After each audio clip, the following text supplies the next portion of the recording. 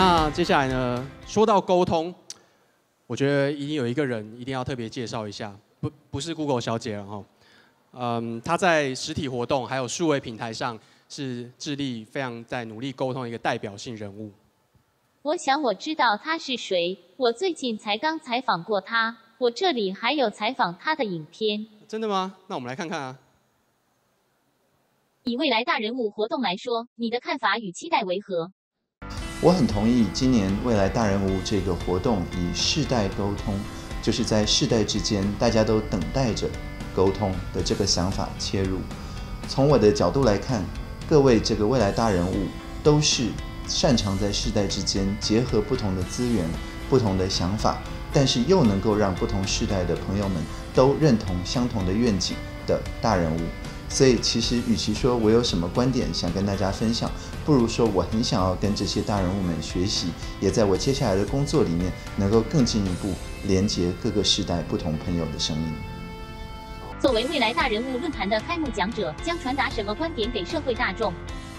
其实我的观点一直都是一样的，就是作为一个连接者的观点。大家可能还记得，我在刚入阁的时候，是把亚洲戏骨这个想法变成了亚洲连接戏骨，也就是说，并不是要亚洲变成戏骨，而是说要亚洲跟戏骨中间有各种各样的连接。同样的，当我在呃冯燕老师之后，呃接手社会企业的工作的时候，也是用一个社会连接企业的这个角度。并不是要让所有社会的工作都变成企业，而是要在社会跟企业中间产生出新的连接。这样一种人跟人之间透过沟通，一直产生出新的连接的方法，就是我想要跟大家分享的。沟通对你来说是什么？沟通对我来讲，就是两个人彼此之间互相倾听，乃至于许多人之间互相倾听。倾听之所以叫倾听啊，对我来讲，就是人。在听到别人的遭遇或感受的时候，会从本来平衡的状态倾斜成为比较不平衡的状态。但是我们可以透过反思，透过内省，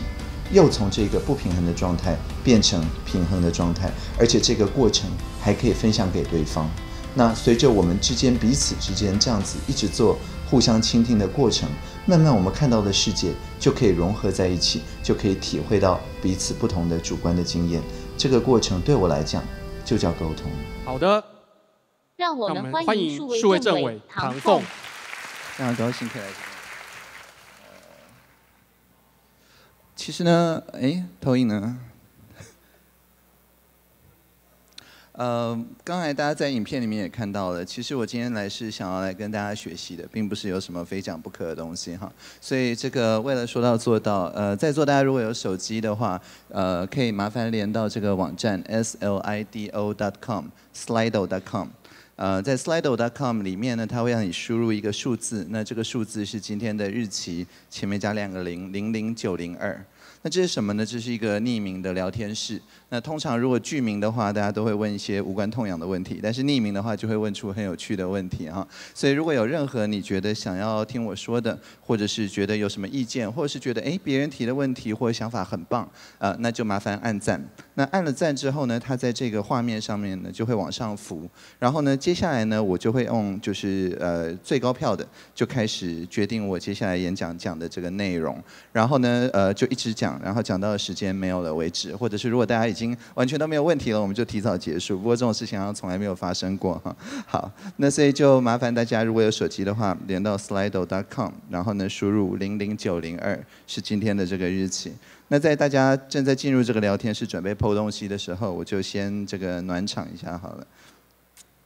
嗯。这次的就是呃邀请，就是所谓的未来大人物，他叫做这个 Becoming Aces。那我刚刚其实，在后台就是听了，就是非常非常多的不同的非常棒的这些呃连接社会跟连接各个不同的地方的方法。呃，我自己有有一些想法了，就刚刚在后台突然间想到的，所以就先跟大家分享一下。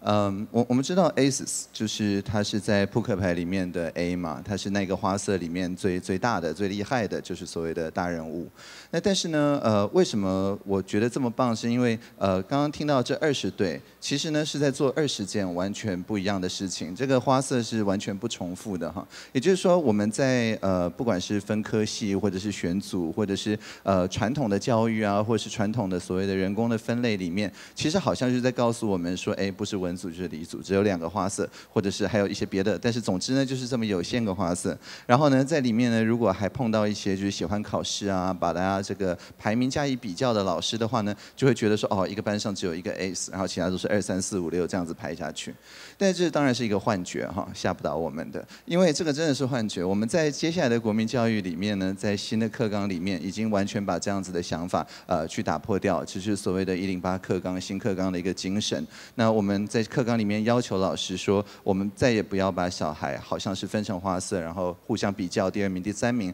而是试着跟着小孩一起学习，然后让每个小孩长出自己的花色来，然后在他这种自发的学习里面，呃，成为他自己的这个所谓的 aces。那但是呢，我觉得另外一个还有一个很有趣的字，就是 becoming。因为呃，我本来的想法就看到未来大人物，感觉上好像是一个什么呃预选班什么感觉，就是哦还没有变成大人物，这个快要变成大人物，说文解字嘛。但是呢，呃，我实际看大家做的事情，就是其实大家做的事情都已经非常的成立，非常的自成一格，并根本不需要等到未来。所以我后来呢就看到说，哦，原来这个 becoming 这个字。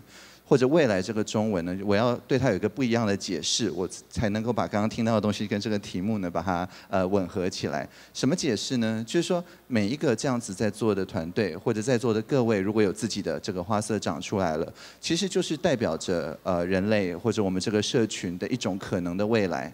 嗯，好比这样说，在一九八九年，在那个时候呢，其实虚拟实境这个技术就已经出现了，但是呢，当时非常的昂贵。然后呢，基本上不太有多少人用，但是呢，有用的少数几个人，好比像说，呃，有一个叫做 Gibson 的一个写科幻小说的人，他用了之后呢，哎，突然之间他脑袋就这个脑洞大开哈，就写了写了非常多这个所谓未来世界的这样子一些小说。那在他写这些小说的时候呢，他当时刚体验 VR 的时候，就有这样一句话，就是说，呃，未来已经来了，它只是还没有均匀的分布。也就是说，会有一些人先在社会上面看到一些未来的一些可能的样子，而且甚至已经自己身临其境的活在那个未来里。但是呢，他他要做的事情就是试着跟整个社会建立连接，然后让整个社会也看到这个未来，然后一起带入这个未来里面。那就像刚刚讲的，就是这可能二十组或者是在座的各位，可能每一个都有完全不同的对未来的想象以及对未来的做法。但是呢，这个就是 becoming 这个字对我来讲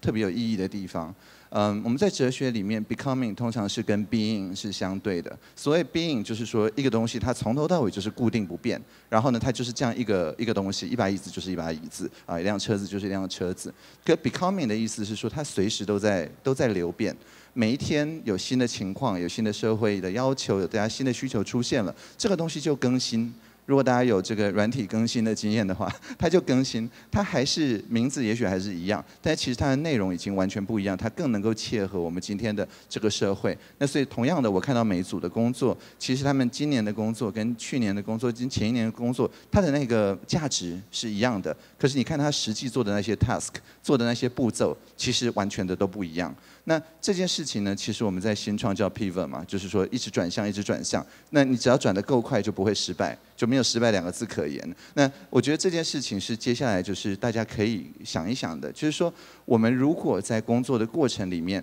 把每一个步骤都只看成是说，哎，我现在要 becoming。要能够这个把我看到的未来跟其他人对接、连接这个过程里面必要的步骤，而不是自己去认同自己做的那个工作，好像说哦，我就是什么什么师，或者我就是什么什么专家。因为后面这种就好像是把自己当做是工具，然后去服务一些什么别的价值。那当 AI 来的时候，当然。这个工具人来当工具，总没有真正的工具来当工具那么厉害嘛。所以说，所有这些这个工具人的部分呢，大概就都会被替代掉。但是，如果我们从一开始就去想说，哎，当 AI 来的时候，所有我们做的这些步骤都可以让机器来做，而我们自己致力的呢，是把我们看到的那个未来带给别人的话，其实呢，就 AI 就是跟我们一起前进的朋友。好，以上是对这两个字的这个自由联想哈。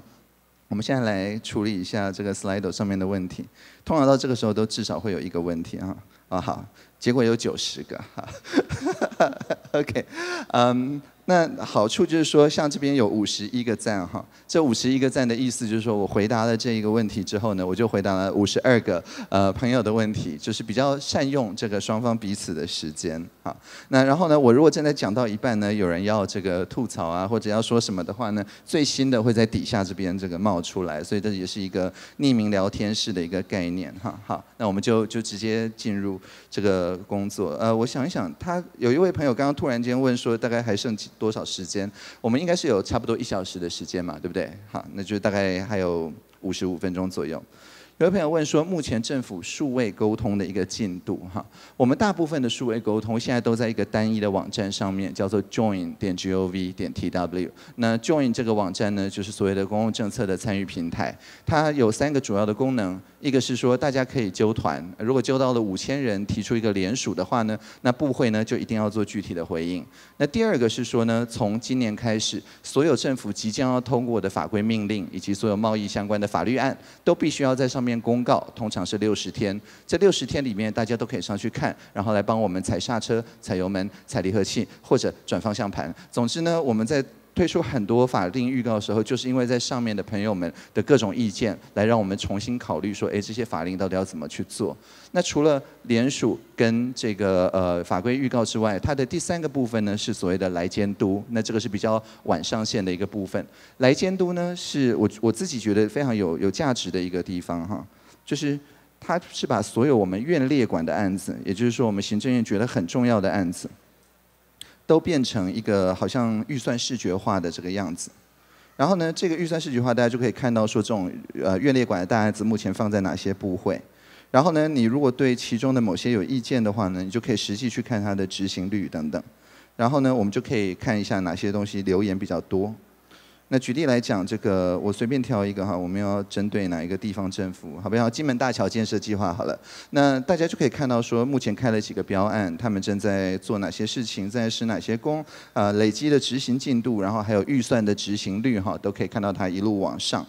不过呢，金门大桥好像没有一路往上。为什么预算执行率可以执行到一半掉下来？好像厂商把钱退回来了，然后呢，再再再往前走呢？那这件事情其实就很有意思。那除了这个报表之外呢，底下当然就有留言区啦，而且这是九年的计划，已经做到第八年了。所以就有一位访客留言说：“图四不四有错？”问号问号 哈。这个虽然拼字有一点不标准，但是我相信所有人都看得懂他的意思 哈。那但是呢，这个时候呢，哎，金门大桥的单位就出来说：“哦，因为施厂商施工进度严重落后，书面通知限期改善没有成效，我们终止契约，把钱收回来，重新办理发包等等。”好，那这件事情看起来是很 trivial 很小的一件事情，但就这位承办的来讲，他有两个好处。第一个，他帮他节省了风险。也就是说，如果他是有人打电话来问，哎，这怎么回事？然后他讲，对方在转述出去，或者是在跟记者说，或者自己发一篇什么稿子，或者在 Facebook 上面随便写一写，哎，其实对这位承办造成了隐形的风险。但是因为这个是完全公开的，所有人都可以看清楚实事情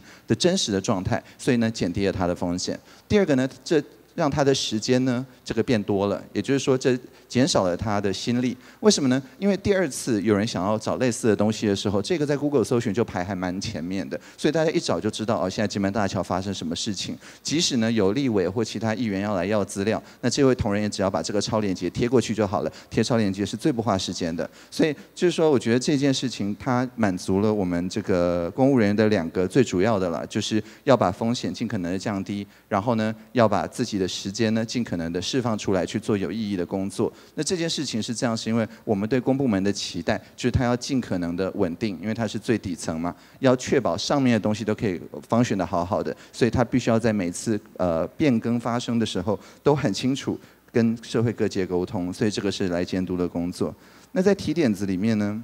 我自己觉得特别好的是说。在此之前，就是呃，可能我入阁之前有一段时间提点子，确实有些成案，但是呢，因为它是跨部会的案子，然后某一个部会很不幸推不掉就担下来了，然后呢，大家就会等六十天，然后写一段非常文情并茂的信，但是里面的意思就是说对不起，这我无能为力哈，然后大家就会非常非常不爽。那但是呢，这个自从就是我我我开始就是接数位政委之后呢，我们花了非常多的时间去把所有的跨部门的事情都用所谓的协作的这样子的方式。跟大家一起沟通，所以我们这边就可以看到说，这边成案的相当相当多的案子，好比像说，呃，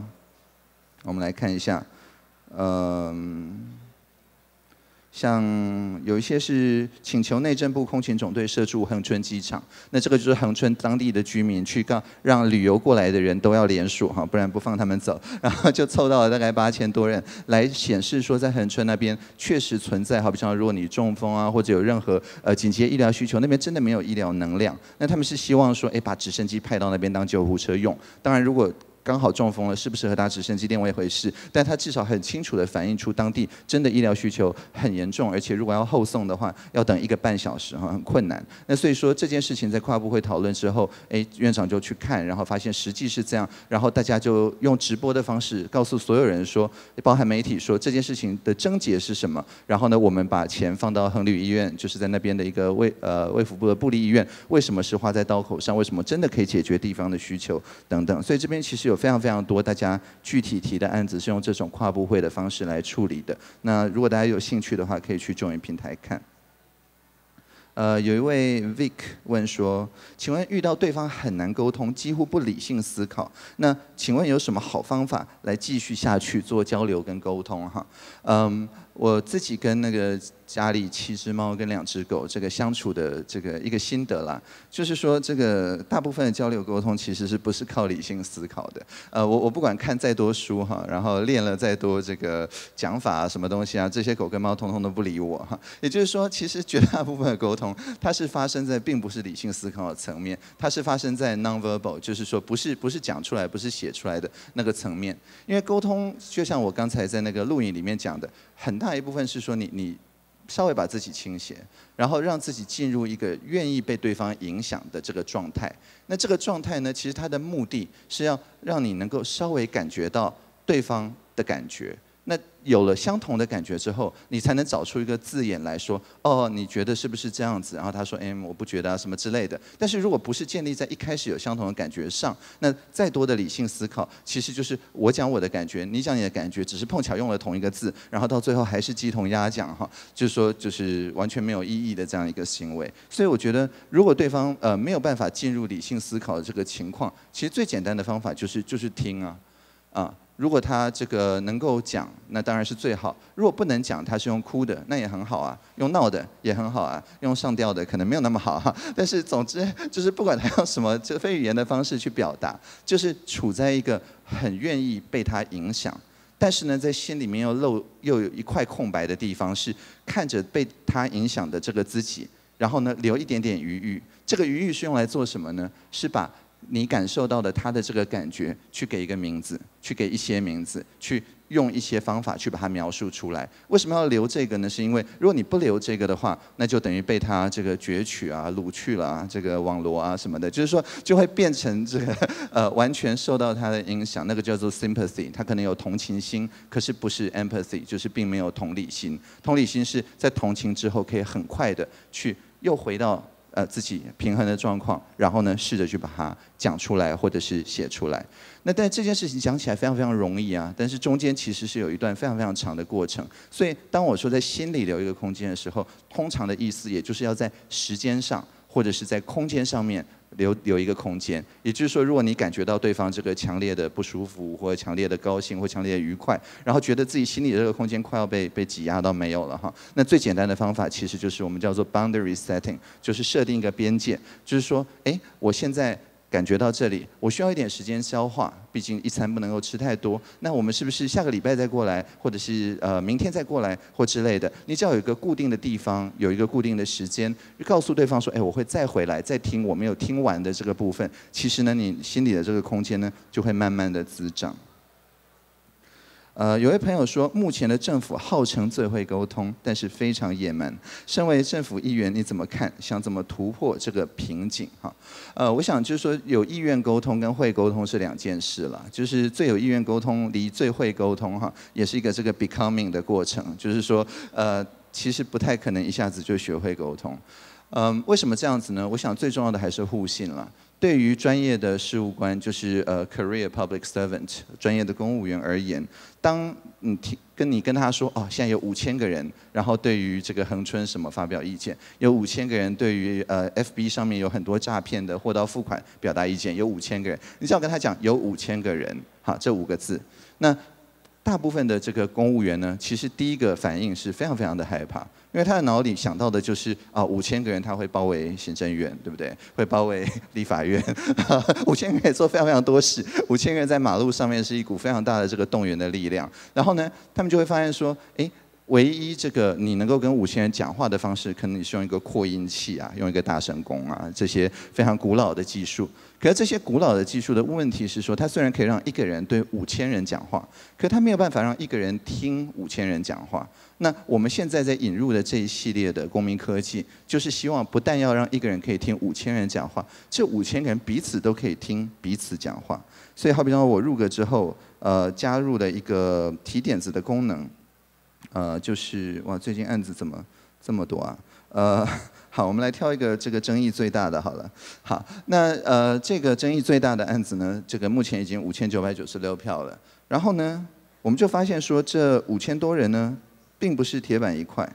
他们在底下呢会非常引经据典的，然后类似 Slido 投票的方法，然后呢，甚至还有人提各种各样的 reference，也就是说。我们把这个空间设计成怎么样呢？设计成你不能够回复别人的意见，就跟 Slido 一样。那在这样子的一个环境里面呢，其实这是一个安全的空间。每个人剖一个东西，即使对方有不同的想法，他要在他那个不同的想法里面也获得大家的支持。你也不能够指名道姓，然后也不能够去做人身攻击，这是跟某个这个呃脸书的这种空间是非常非常不一样的。然后另外呢，就是当我们同仁在刚设计这版界面的时候呢，他们把赞成论点跟这个其他论点呢去做了一个呃计算它的比例。所以像一二八比三二的时候，那一二八本来是非常非常长，然后三二就只有一点点的。那我看到这一版之后，我就发回去请他们重写这段程式。那为什么呢？是因为呃。你想一想，如果这样的话，它是鼓励洗版，或者说他是鼓励拔河，他是鼓励把这个看作一个好像一个零和的游戏，我要揪尽可能的多人来支持我。可事情不是这样子啊，每件事情本来就有正反两面，大家加到这个讨论的目的是要把最好的正面论点跟最好的不同的论点尽可能的浮上来，让大家一起考虑。所以说，当我们在设计这种空间的时候，最重要的一件事情就是不要把大家力气浪费在这种零和的拔河里面，而是让每一个人花进来的每一秒钟都在呃我们。叫做 non-rival，就是说是叠叠加上去的，而不是呃我加一分你就扣一分的这样子的一个概念哈。那这个概念其实用用话很难解释，但是呃我最近有翻译一个游戏，所以如果有玩过这个游戏的啊，其实应该是非常非常容易就可以了解什么叫做非零和。非零和的游戏或 non-rival 的游戏就是嗯双方如果合作的话，双方都会好一点的这样一个游戏。所以如果有空的话呢，也可以玩一下这个游戏，还蛮好玩的。好呃，那接下来就是说，那关于野蛮的这个问题哈，我我想是这样，就是说，当呃，就是所谓 barbaric，就是野蛮人这件事情，本来的意思就是说，他讲的话我听不懂啊，这本来就是野蛮的定义。所以从事务官的角度来看，一旦他发现说，哎，在这个空间里面，大家都好像蛮文明的，大家是讲得起话的，脑里就不会有说，哦，这是暴民啊，这是民粹啊这种不当的联想。所以呢，他们就可以开始更信任呃提案人一点。那有一些时候呢，提案人其实是更专业的，好比像说说 Mac 报税软体难用到爆炸的那一位提案人，本身就是一个专业的 Mac 的设计师。那当我们不把它看成报名，而是把它直接请进来的时候，我们就忽然发现说，哎，明年报税软体只要用一下它的这个专业啊，马上就可以改写了。所以我们明年的报税软体就不会让人报税完之后想要砸电脑了哈。那所以就是说，每一次不平则鸣的这些朋友，他不一定是因为。对，觉得政府野蛮，他可能觉得是说，为为什么我讲话你听不懂？那为什么听不懂的原因，就是因为双方的脑里没有办法对焦。那创造这样对焦的空间，就是突破这个瓶颈的方法。我们目前每个礼拜五都用这样子的方式来处理一个案子。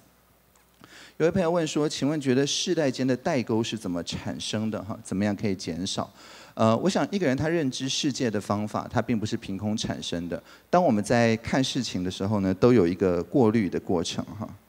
也就是这个今天早上跟一个叫做呃 KK 的一个作家，他我们讨论了一下这个现在各种趋势。那它里面呃提出了其中一个趋势，就叫做 filtering，就是所谓的过滤。那这个过滤呢，呃，大家可能都有第一手的经验啊，就是在 Facebook 上面只会看到自己按赞的东西啊，呃，Line 上面加一些已经认识的朋友啊，然后越越来越好像活着的这个世界都是跟自己志同道合，或者不志同道合，但至少吵架吵得起来，不会听不懂他在讲什么的同温层嘛。那所以这个是一般对于过滤的一个定义。但其实呢，我们即使没有这些科技、这些呃社群软体，我们从小到大也。整个学习过程也就是在做 filter，因为人脑学习的方法是我看到一个新事物，我把它跟我脑里面觉得世界是怎么样加以比较。然后呢，中间有个差异，然后呢，这个差异把它写进长期记忆里面。当这个差异大到一个程度的时候，其实就没有办法理解，当然也写不进去。所以每个人在做学习的时候，其实就是从自己的第一手的经验出发，慢慢慢慢像这个树状一样的去扩张。但是太远的这个树梢，除非你呃就是搬去这个不同的部落住个两个月，累积新的第一手经验，不然的话根本不可能用这种传统的方式加以学习。所以世代之间的差异，当然最简单的讲法，就是因为大家有不同的第一手经验啊。那在好比像说我们的上一个世代或上上的时代，还记得这个戒严时代，当时话是不能乱讲的，是会被消失的等等。哎，那可是我们呢，或者比我年轻的这一代呢，已经都不记得戒严了，已经完全没有这样子的第一手记忆。那除非是透过就是相当好的，好比像说有一位未来大人物，他们团队设计的那种互动游戏啊之类，否则的话很难去。进入对方的第一手经验的世界，因为这个就是没有第一手经验的事情。那当然，我可以讲说，呃，VR 啊、AR 啊、AI 啊这些东西都可以让人更容易的，呃，不需要浪费自己全部的时间，就可以把自己的第一手经验把它浓缩起来，然后让其他人体验到。那但是呢，我觉得技术是里面最不重要的部分，最重要的部分还是你愿意去被别人的第一手经验影响，甚至。完全嗯，就是让你跳脱你自己本来认识世界的方法，那是一个相当不舒服的感觉。但是呃，习惯了之后呢，这个不舒服的感觉其实也还好，就是你一下子变成看到别人眼中的世界这个感觉。那这个感觉多了，其实慢慢的这个代沟就就消失了。但这个并不是一蹴可及的，这个是等于每天每天呃要去练习的，也没有简单的方法。当然 VR 可以就是加怪它。如果对方很容易进入拒绝沟通的状态的时候怎么办哈？嗯，那就不要沟通嘛。啊，好像不是这样子。就是说，当大家在说拒绝沟通的时候，其实就跟前面那位朋友说的一样。通常我们说对方拒绝沟通，指的是对方拒绝听，但是并不是对方拒绝表示。对方还是继续在表示，对方可能很生气，对方可能这个发黑函，对方可能这个摔摔东西，对不对？但是那那些还是严格来讲。沟通啊，就是那那些还是 communication，他只是在脑里没有那个空白的空间去放你这边的东西而已，他还是很愿意有各种各样的东西放到你这边来。那当然，我们沟通是需要是对称的，所以我们在留给自己空间的同时，也是留给对方，让对方有长出这个空间的可能性。但我在这边不是要背什么寒山拾得路那些东西哈，就虽然那个确实也是有道理了，但是我在这里比较讲的是说，因为我们现在的数位科技有一个特性，就是说，就像陈珊妮说，这个悲伤可以下载两次，意思就是说，你把你的这个状态放在线上的时候，你可以。对方等对方准备好的时候再来把它下载，而不是完全一次同时性的沟通。你一定要对方没有准备好的时候就逼他 下载这个东西。所以通常当对方陷入这行脑里没有沟通的能力的时候，我都会自动切换到非同步沟通的模式。可这个非同步沟通的一个重点仍然是，他要设定一个期限。好比像在线上问我问题，我说二十四小时会回答。刚刚连署按六十天要回答等等，他还是要一个你看得到的那个近未来，这样子才有可能用非同步的方式继续呃彼此沟通下去。有位朋友问说：“请问未来台湾的教育体系会不会有关于 AI 训练课程加入正规教育？另外，应该如何帮助现今的年轻人拥有属于新时代的科技能力？”嗯，这稍微有一点点相关，不过事实上是两个问题哈，有一点点作弊，但没有关系。呃，我们这个在台湾的教育体系里面，所谓的 AI 融入教学，确实是我们目前觉得最重要的事情。呃，台湾的 AI 发展蓝图，就是在之前的有一场叫做 SRB 的会议之后，现在科技部呃大概有写出来一些东西，我们放在 Digi。Plus 里叫 Digi Plus Smart，所谓的数位国家创新经济 AI 发展方案等等。那在这里面非常重要的一件事情呢，就是我们叫做 On Device AI 或者 On Edge AI，就是人工智慧不是只有在超级大的公司的超级大的计算机中心帮大家算，大家只是使用这个人工智慧学习过的结果。相反的，我们应该发展出一系列的 AI 的这个呃演算法以及硬体，是让大家自己。在手机上，或者是在手表上，或在车子上，总之离你近的地方，是你的个人延伸的地方，就可以进行学习，就可以进行调整。这个就是跟之前的所谓的个人电脑的想法是一样的。那这个把它融入教学，就是在一零八新课纲里面所谓的呃，就是 ICT 融入教学。为什么这件事情很重要呢？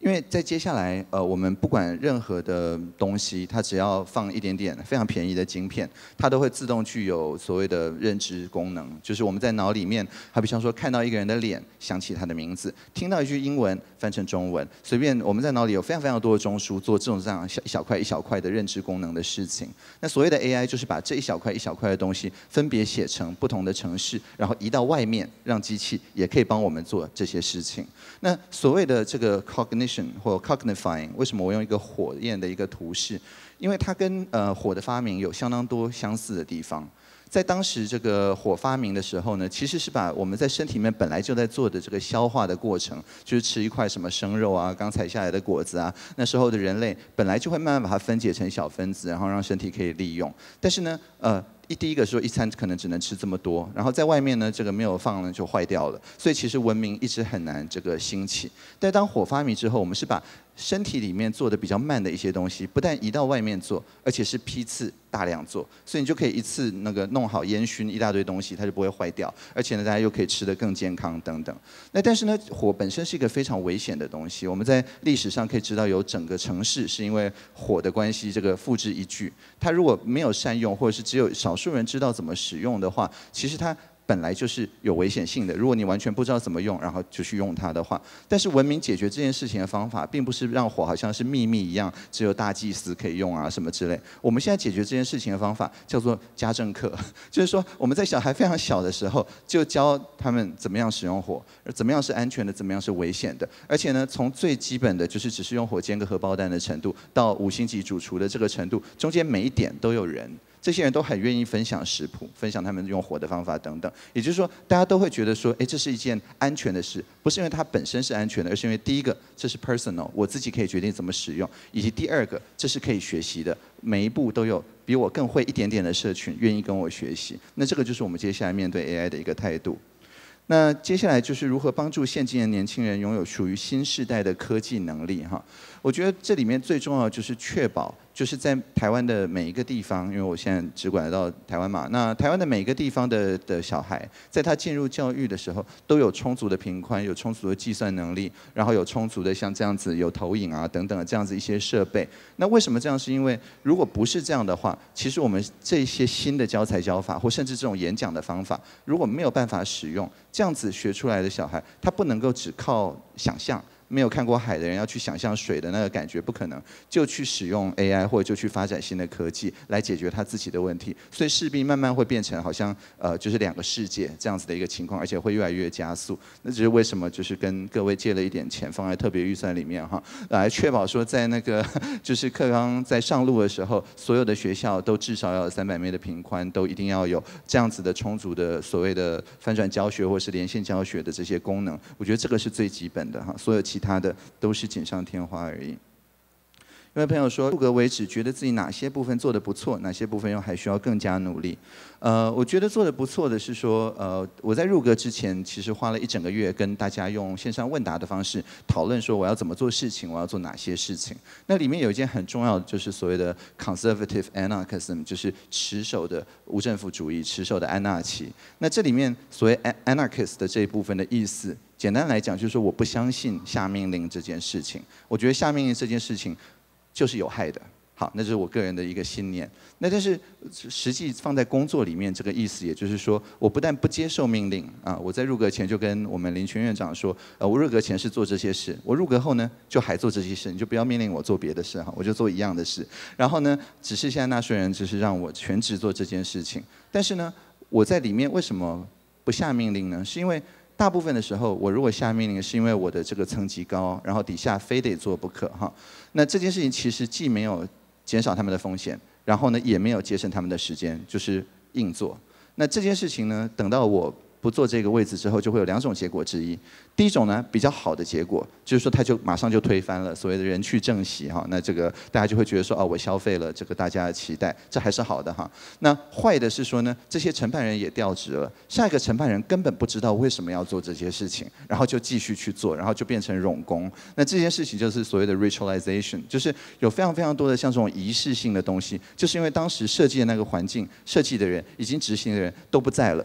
但这件事情还是要继续做。那公部门里面充斥着这样子的事情，那所以我们并没有想要加再多的这种东西进来。但是呢，如果不不下命令，到底要怎么让大家动起来呢？那因为除了命令权或什么预算权、人事权之外，其实还有一个非常重要的权利，就是所谓的议程设定权，就是大家要谈些什么的这个权利。所以我等于是把议程设定权分散给各位所有人。只要有五千人联署，或者是用其他的方式进入我们这个对话的空间，那就保证所有的部会的所有相关的人都会出现在面前，而且都一定会讨论你设定的这件事情。那这个是我可以保证的。那但是呢，这件事情并不是因为我下命令他们要去怎么处理，他们要怎么处理还是回到他们自己。可是经过接近一年以来这样子协作的讨论，所有参与的部会都发生说，哎，这件事情非常有趣。就是传统的公务员呢，是如果发生问题了，那他要担责任；如果他做了什么好的决策呢，长官呢就全部拿去了，都是长官的这个功劳。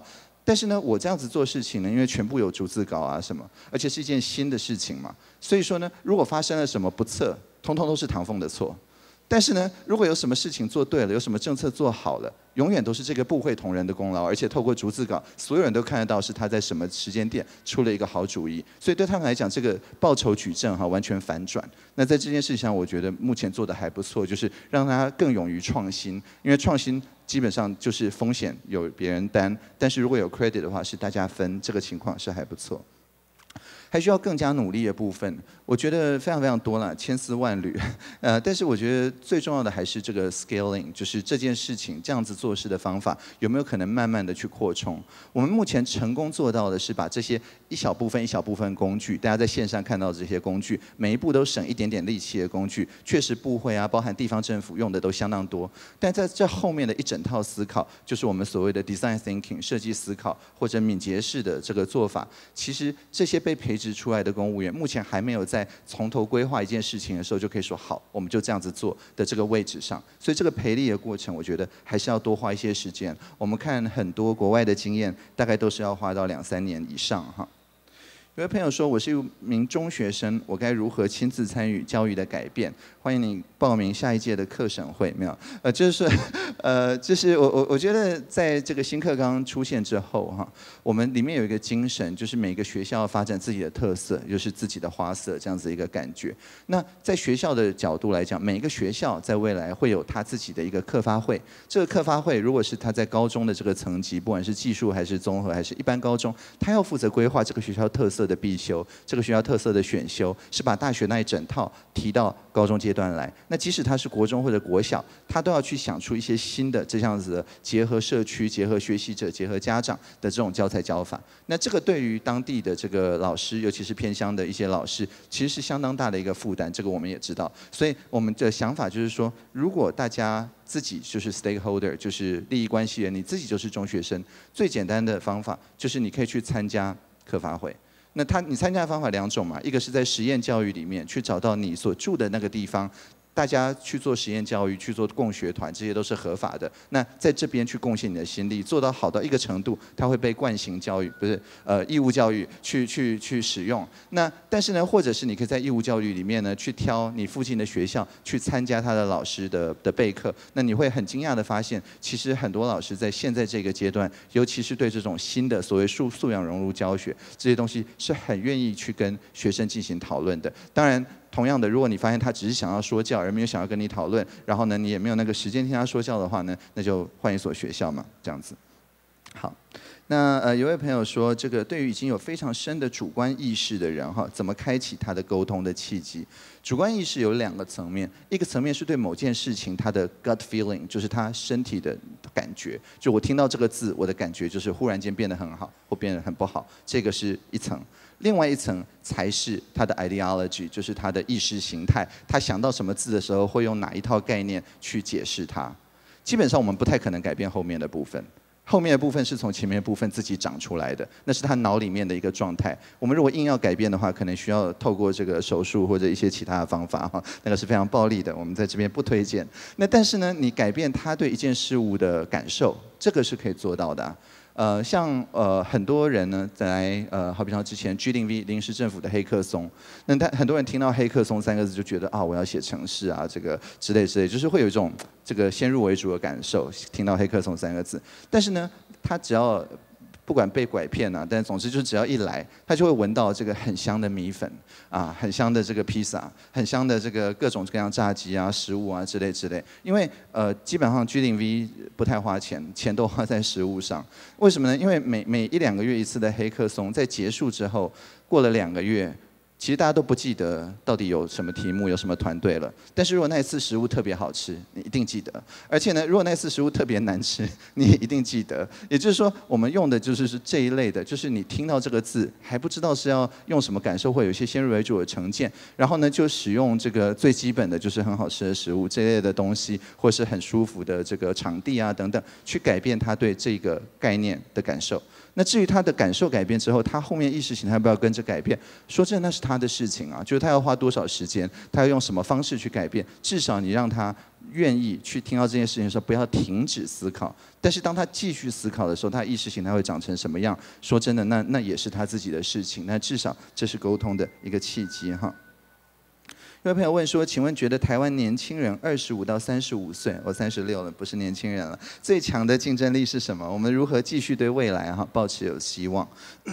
我觉得呃，台湾最强的竞争力就是就是合作的能力，就是不竞争的能力。呃，因为我在我在台湾教过相当多的学生，然后呃，就算在入格之后，也在杭州美术学院用远距 VR 的方式教过学生，甚至还把杭州跟高雄的学生呃用 VR 并到同一个教室哈。我我自己的的经验就是说，呃，在在竞争上面，就是说只有三个花色，然后大家拼命去跑第一哈。其实台湾这一辈的年轻人其实已经。已经不太买单这一套了啦，并不是说大家都不买单这一套，但是其实心里对这个东西其实已经有一点松动了，因为发现到说这件事情其实对 对谁都没有好处。呃，如果一个人的自信是建立在说哦我就是第一名上面，那就是有一个比较厉害的人来，哎他突然自信就降低了，或是说有一个比他厉害的人转走，他自信就提高了。可是他的状况其实明明一模一样啊，那把自信建立在这种非常不稳固的上面，到底到底对任何人有什么好处呢？其实是没有的。那所以。呃，我觉得透过呃社交网络，透过我们现在年轻人各种各样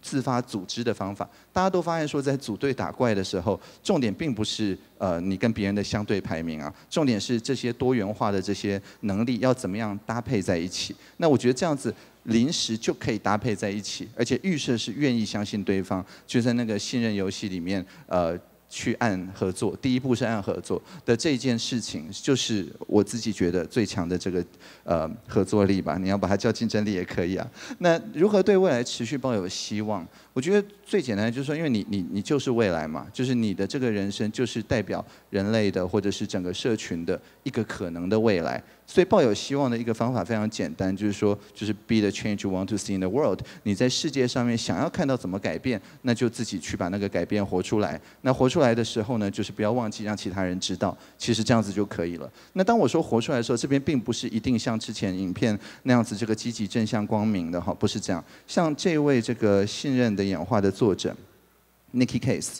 他之前做了别让图形不开心。啊，就是就是我们不要去歧视跟我们不一样的人，不然的话整个社会就会分裂哈。但这个是基于他自己被歧视的经验。这个在之前他有写一个 Coming Out Simulator，就是出柜模拟器。那是他自己跟他爸妈出柜，然后最后非常惨的经验。他又写过另外一个游戏，是讲怎么治好忧郁症，就是透过我刚刚讲看到一件事情改变对他的感受的方式。那个是因为他自己忧郁的经验，也就是说他会不断的写这样子的的互动的方式，去把自己。生命中一段不一定舒服的这个历程，以及他后来怎么好一点的这个历程，让大家用互动的方法得以理解。所以，并不是说你走到一个这个别人都看不到的未来，这个未来就一定是充满光明，不是？它可能是非常非常黑暗。但是在这个非常黑暗的情况下，你至少记得这是什么，然后你走出来，给他一个名字。那这样，任何有过类似经历的人都可以因为这样子而有更好的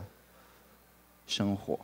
好，请问觉得台湾的人才在沟通上面，相较其他亚洲的国家，其实全世界有什么样子的优势或者是劣势？哈？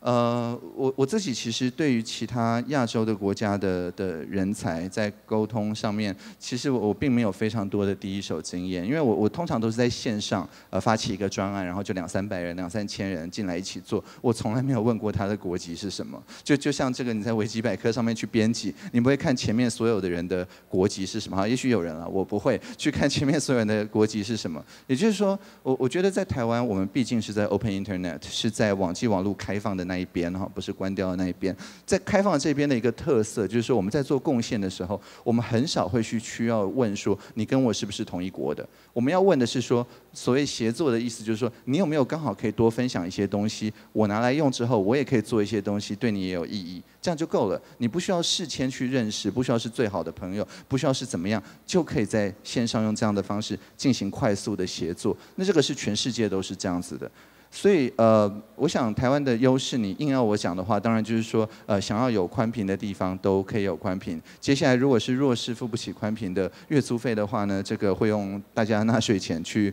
去补贴等等。就是说，我们尽可能的让去取用这个数位技术进入数位空间进行协作这件事情，不会造成大家太多的负担。那我觉得这是算是一个优势吧。那至于劣势，我目前还没有想到，所以我就直接跳过了。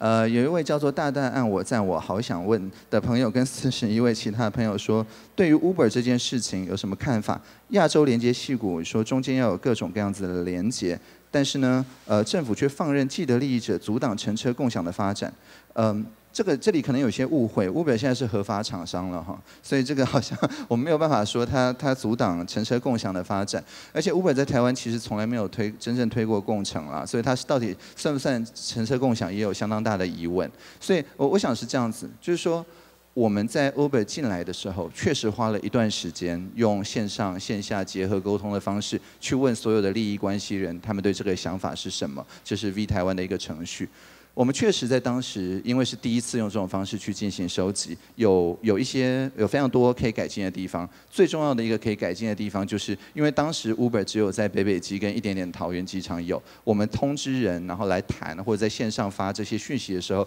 都是只有这些地方的计程车司机跟车队。那但是呢，从我们讨论到这个，到这个翻译成这个就是法律法规文字多元化计程车方案，中间可能过了半年一年。在这个过程里面乌北就延伸到了台中，到了高雄，到了非常非常多的地方。所以，当我们要通过这个的时候，这边的司机们或这边的其他的业者们就会说：“你当时做过这个，你说是共识，那是台北共识啊。”有人问过南部人吗？没有啊。好，那所以呢，这个我们在沟通上面就又多花了非常非常多的心力，才把这个多元计程车方案把它通过。所以，我想这里面很重要就是说，虽然线上投票的人或线上进入讨论的人，我们看跟台湾的人口分布是相同的。我们当时以为没有地上面的差距，但是事实上，有能力跑来行政院开会的人，就是在台北附近的，能够付得起高铁的，或者是要搭飞机的等等人，他本身确实是有个地域上的限制。那也因为就是痛定思痛想了这个，所以现在一直在做用 VR 开会的科技哈。不过这是另外一回事了。好，那呃 Airbnb 呢，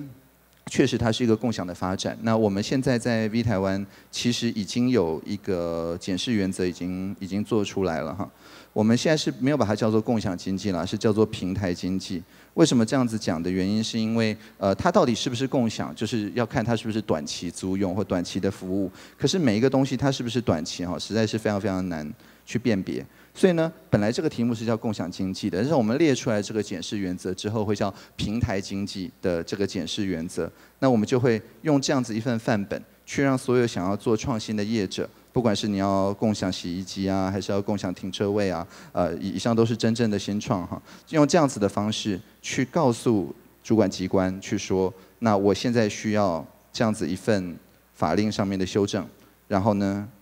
呃，我就可以，呃中介职业的人或者非职业的人，我的平台是单纯中介，或者是我要抽成，或者是我来派遣等等，我们有一块 checklist。然后大家做完这个 checklist 之后呢，我们就会要部会填一份一样的 checklist。然后如果两边能够对接的话，就不用在旷日费时跑那么多机关，直接就合法了。那如果呃现在法规还有一些要调试的地方，没有办法那么快，或要说服立法院的话，那大家就可以到 sandbox 点 org 点台湾哈，这是一个所谓的沙盒的这个创新实证的地方。也就是说，你就可以说，那我框一块地，我说服某个市政府，我先来做，那这件事不要算我违法。我六到十二个月之后呢，我交出一份报告。如果这真的是一个好主意的话，那法令就可以及时修正哈。不过再讲下去就变成业配了，所以我差不多就讲到这里就可以了哈。继续，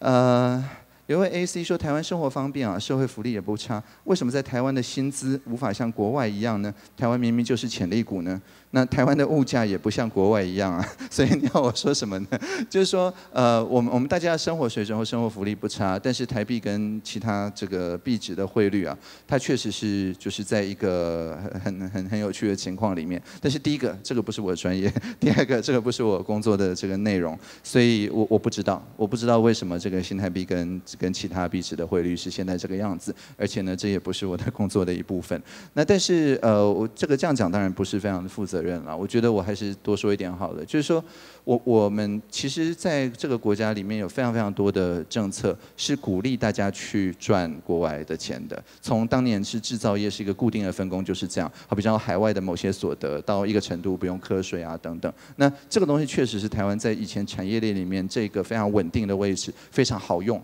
的一些杠杆，但是接下来我们要迈入帮整个区域去设定我们接下来要怎么发展，像刚刚的那个 AI on edges 啊这些东西的时候，这些同样的政策手段不一定还能够无限制的继续用下去，这个是事实。那但是至于要怎么样调整比较好呢？我可能会给一些建议，但是这真的并不是我工作的一部分哈。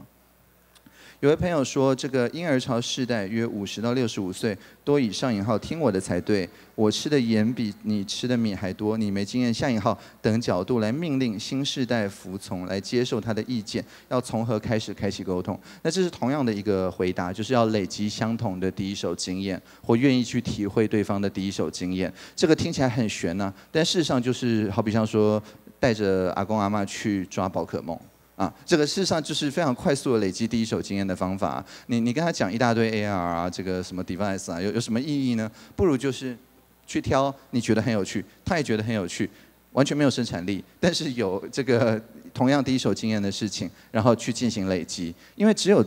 有共同的第一手经验，才有讲话的这个基础嘛。也就是说，不管吃盐啊，还是吃米啊，还是吃什么，现现现在有有可以新吃的不同的什么什么 berry 啊，什么东西，对不对？就是那个呃宝可梦吃的那些东西出现了嘛。那这个东西是所有人都没有吃过的，所以不管你是在哪一个年龄层，这个对你都是新的。这个时候，大家就可以一起用互相学习、共同学习的角度去接触这个新东西。如果你一直卡在说啊，这个当年的盐、现在的米这样子的东西，那又陷入一个零和的竞争性的。对了，确实你多一年，我就好像少一年年资这样子的，呃，很奇怪的讨论的角度里面，这样当然就是没有办法沟通的。那至于就是服从的这个部分，其实。大部分人只要碰到新的经验，其实就不会急着去下命令了。他先去试着理解，先着先去接受，还来不及，根本不会知道要下什么命令。下命令通常都是他觉得他的这个系统他已经玩到烂熟了才会做的事情。所以就是说，要一直创造新的可能性，在这个新的空间里面，所有人都是新手。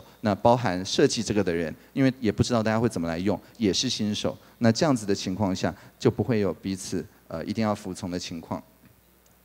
有一位这个立刚，我就知道会有这个问题。请问您对 长辈 赖群组谣传唐凤利用大数据监控人民，所以要把手机包上铝箔纸放进微波炉里？请问微波时间要设定几分钟？哈，啊，零分钟，不然你的手机可能会坏掉。就是我，我想，我想啊，这边讲一下，就是说，确实啊，呃，我我当然不会做这种事情。但是呢，我不做这种事情，不表示没有人做这种事情；政府不做是这种事情，不表示业者不做这种事情；业者不做这种事情，不表示应用城市开发者不做这种事情。大家都在做这种事情。所以我要说的是，说政府尽可能的，我们在就是有各种各样子通呃，就是通讯监察保障法，这些都是明文的。就是好比方说有重大刑案或怎么样的时候，可以做什么事。没有的时候绝对不能做什么事情，不能够监听大家中间的通讯。但如果你已经被抓了，检察官已经起诉了，那你的手机对不起，只好扣押来看里面的呃记录等等，这些都是有 due process 的，都是有正当程序的，这些是有成就是所谓的作用法在那边去做约束，谁能够做有组织法在那边约束哈。但是业者呢，可能没有这些东西，他们有的是演算法，演算法比起组织法、作用法的特等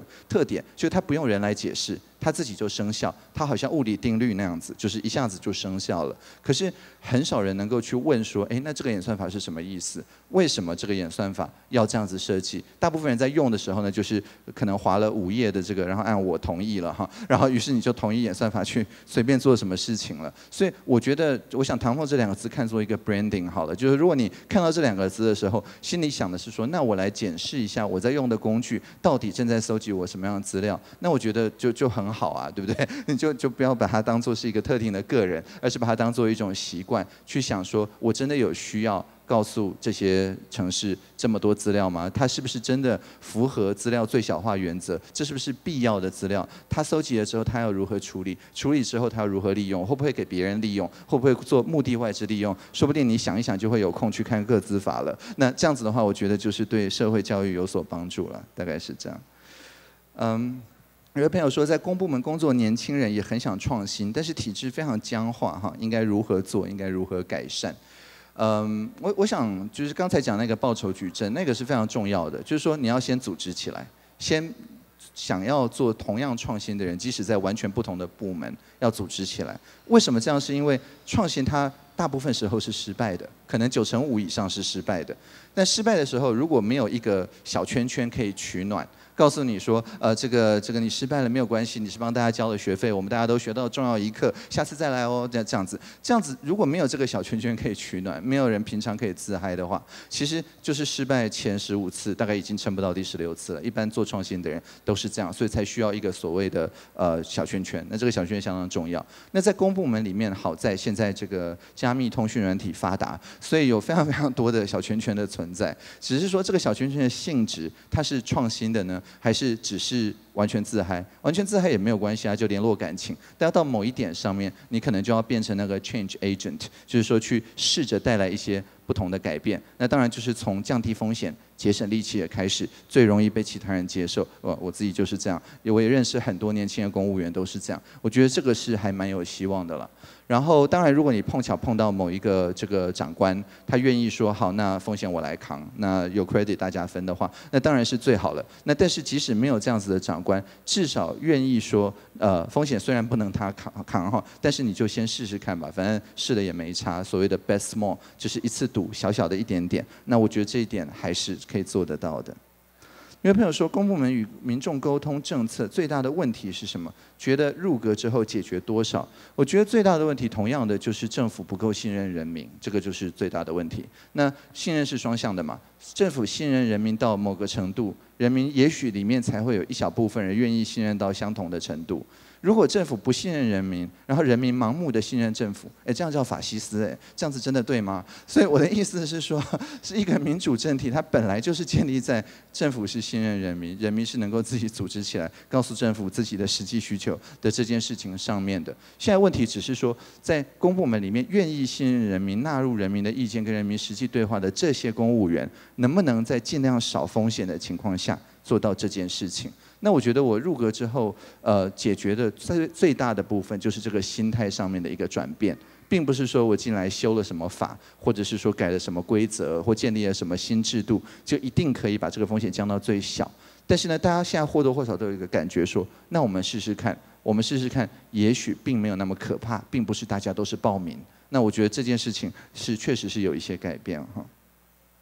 有位朋友问说，面对大量的恶意的批评哈。该如何持续的沟通？这个呃，我我一向有一个方式，大家可能都已经听过了嘛，就是所谓的拥抱小白的这个方式。呃，拥抱小白就是说，网络上有一些白目的朋友，那他们之所以在网络上面有大量的恶意的攻击的原因，是因为他们在生活里面渴求着注意力，可能呃就可以拥抱啊，或者是这个呃一些真正的朋友啊，可是都没有啊，那所以就只好在网络上面去找注意力。可在网络上面找到注意力呢，每次是一个不同的人呐，所以说呢，他每次就是发表很中二或很我。的发言的时候，虽然可以获得注意力，可这个 quality 不好，因为这并不是一个长期的关系。所以呢，就像这个某些食物就是没有什么营养，你吃了肚子还会感觉饱，可是醒来之后就更饥饿，然后呢，于是呢就去乱，然后又获得更多的注意力。大部分大量恶意批评的朋友都是差不多这样子的心理结构。那我在处理的时候，所谓拥抱小白的做法就是说，假设他这个大量，好比方说一百一个句子。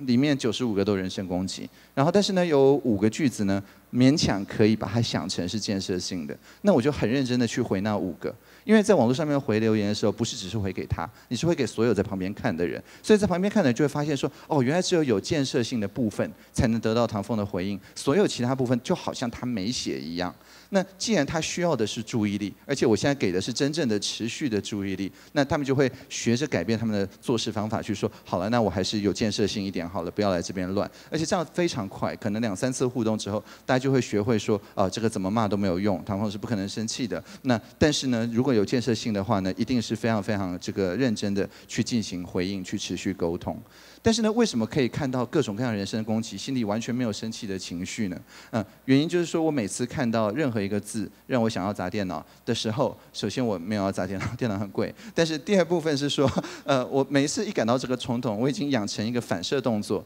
就是我就先从电脑旁边坐站开一点点。然后呢，就开始放好听的音乐，这个泡一壶很香的茶，然后怎么样？这个反正用食物啊，用气氛啊，用怎么样，让我下一次看到这个字的时候，脑里浮起的是好棒的感觉。然 后，所以就是基本上就是没有什么字现在会让我。想要翻桌子，每一次想要翻桌子，这个感觉都已经刻意的被用这种我们叫做认知行为治疗的方式去替代了。所以就是说，呃，你你不管什么，觉得好像会伤害我，什么玻璃心的什么什么东西，完全没有。我看到的时候就是想到，哦，对，那一天喝的是康复茶，康复茶很不错 之类的这样子一种感觉。好，那所以随着这样子的，我们叫做精神按摩嘛，就是说每次按到酸痛的点，那边就松开，再按一下那边就松开，这样子的。所以给自己一个空间，然后慢慢。那这样子松开之后，其实就不会被字或者被这种人身攻击，或被恶意哈所攫取。那在里面其实还是有很多人看起来是恶意，其实是关心你，然后其实是有一些建设性的工作。所以像这样子的东西，就可以去认真的处理跟回应。有一位不悲观惹这一位朋友跟三十一位朋友说。在南部的长辈，甚至是年轻人，都不是一定知道社会上还有这么多优秀团队跟年轻人，他们资讯的还是很旧的那一套，没有新的刺激，不会像年轻人一样想翻转社会，只是该如何沟通呢？然后底下马上有一位匿名的朋友说，不要站南北哈。OK。好，嗯，我我我觉得是这样，就是说，台湾是一个有非常多非常多多元性的地方，它不是只是南北而已。我我每两个礼拜接下来会去巡回，已经巡回过一轮了。行政院的云家办公室、中部办公室、南部办公室、东部办公室，然后呢，每次去那边跟社会企业的这些创新的朋友们沟通，虽然大家都是顶着社会企业四个字哈，做的事情完全不一样，跟你在台北看到的是完全不同的，但是大家都想要翻转社会，这是没有问题的，也都面临你要怎么样。把自己做的事情让长辈知道，哎，你到底在干嘛的这个同样的一个问题。那我觉得我自己这样子沟通几轮下来，我自己的一个具体的想法就是说，每一个不同的地方本来就有不同的社会情况、社会问题。本来大家为了解决这些问题，想要建立的社会连带，所谓的团结经济 （solidarity） 就一定不一样。所以说，它重点并不是说，呃，北部很厉害、很创新什么，并不是，而是说北部解决的社会问题是这些。然后这个每一个不同的地方。都是有不同的社会问题啊，不管是透过农社器的方法，透过合作社的方法，透过各种各样的方法，也是非常创新呢，也是去解决了。那当他解决的过程里面，他也是在翻转那边的地区的社会。那我能够帮忙的，其实就是说，确保政府不要挡大家的路，而不是只是说不挡北部的年轻人的路哈。那个任何地方的年轻人在提出说，哎，他的社气需要政府调节什么，需要政府帮忙什么这样子的时候，我们都会。最慢最慢两个月巡回回来的时候，给一个具体的回应，这叫做按字管考，就是讲出来的每一个字做成逐字稿，然后所有重复的字都变成部会要解决的项目。然后呢，大家也可以看到说，哦，原来呃某一个地方的某一个社区跟台湾另外一个角落某一个社区，哎，要解决是同一个问题，他们两个就可以变成好朋友，然后就可以又又不觉得孤单，然后又可以有小圈圈啊、自嗨啊这些非常适合创新的这些行为哈。有位朋友说，政府是否将规划帮助青年人创业的大平台？有非常非常多的平台了。其实，呃，像青年圆梦网已经是一个呃行之有年的平台，那个是中汽处的。然后教育部也有一大堆，科技部也有，然后这个法规沙盒也有。其实已经已经够多了。现在的问题并不是呃平台不够新或平台不够大。我我进来之后发现，大部分的问题是说，大部分的平台不知道别的平台在在凭什么。所以这件事情是是很很麻烦的。那之所以会要这种巡回，或者像十月开始，我会每个礼拜三去空总，早上会有 office hour，大家可以来跟我聊天。的原因就是说。等到这些六七个部会联席的去，不管在线上还是实体处理大家提出来的问题的时候，不只是这位朋友可以得到解答，而是每个部会知道其他部会到底在做什么，在提供怎么样的资源，在内部形成这样一种团队的感觉。所以我觉得这个平台并不是往外给大家又有一个可以跳上来的东西，而是往内。公务员都知道说，哦，我们这几件事情联合在一起，就可以提到，哎，这边有一个投资的这个审阅的平台，投资审阅的标准非常好，投资下去之后，哎，这边补助的平台就可以去把投资成功的案件加以补助，而不是说有时候是反过来啊，我都已经补助了，补助的时候也没有怎么样评估，但是它绝对不能失败，因为 KPI 很烂，所以我就跟别的部会想办法投资哈，就是我的意思是说，部会跟部会之间有有事到临头已经要救火的时候才联系的关系，或者有一开始。就知道会有综合效果的关系。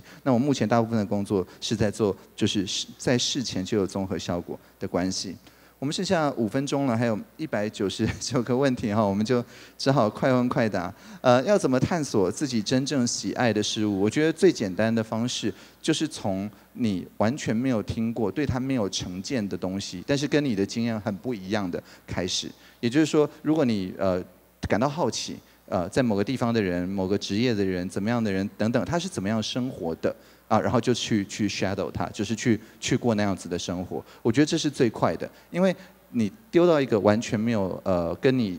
平常习以为常的东西相似的地方的时候，很容易就可以被对方的真正的经验所感动。你不会一直去想说啊，我之前有过啊，这个我之前是怎么样啊？那这样在这里面，如果有你所喜爱或你所好奇的，可以全心全意的变成真正的第一手经验，而不是从学过的东西去反推的那样子的可能第二手、第三手经验哈。至少我自己都是这样子学的。有位朋友说：“请问唐凤德德，听过观众提问最烂的问题是什么了哈？呃，其实是没有烂问题的哈，只有烂答案而已。所有问题都是好问题。那当然，当我讲出这句话的时候呢，我通常不会卷到最底下，然后去看倒数这个的问题。我们来看一下最底下到底是什么问题哈。OK，我们来看零票的，好了，零票的就是完全没有人按赞的哈。嗯。”好，六六六六六六六，这是一位马里欧提出来的问题，这个也没有很爱，可能不是真正的这位马里欧，有很多马里欧。然后有一位朋友说加油，这也不是有问号啊，但是其他的都都很好啊，这个并没有什么问题啊。如何判断是不是有有有道理的，这个也也很好啊。对于正义魔人的看法，我比较喜欢 iOS 还是 Android 的哈？我我在这边郑郑重的表示，我都有带上台哈。然后用 Line 如何沟通？然后像像政府如何跟跟 Line 沟通？当然就是把政策变成在 Line 上容易容易转传的这种长辈图的形式。这个我们在在里面有一整个团队现在在学这样子一件事情哈之类。好，然后呃好。对，所以所以大家就发现说，除了这位朋友他是非常踊跃的，这个把它叫做这个问题就超烂，那那这样我们只好说好吧，这个问题是最烂的问题之外，呃，大家可以看到说，不管是几票的问题，其实都是好问题啦。我觉得大家愿意花时间花个几秒钟把问题这样子 key 进去，其实都不是浪费彼此的时间。只要愿意这样子投入这个心力，我觉得有对称的这个注意力。你花几秒钟，然后我至少花几秒钟看过回答。我觉得这样子一个沟通本身就是有价值的。那至于这个问题的形式，我讲了什么字，你打了什么字，我觉得那就是一个借口而已。就像我常常觉得说，很多好的 project，像刚刚 demo 的这些啊，或者是更大的维基百科啊，这些 project，它其实再大再漂亮，它还是只是借口。那真正的理由是因为我们想要有这样子的借口去认识彼此，然后去认识这个世界，然后创造新的价值。好，那差不多就这样子。呃，那我们就先到这边喽，谢谢。